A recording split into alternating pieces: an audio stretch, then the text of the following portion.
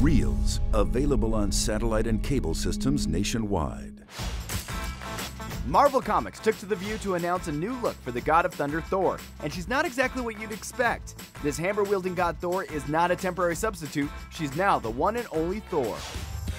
The Power Rangers reboot is getting the writers from X Men First Class and Thor. Additionally, Roberto Orci of Transformers and Star Trek will be the executive producer on the film.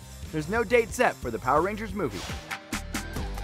Director Ron Howard is going to take the helm on a Beatles documentary. The movie will focus on the six year period when the Beatles went on tour, appeared on The Ed Sullivan Show, and eventually at Candlestick Park in San Francisco.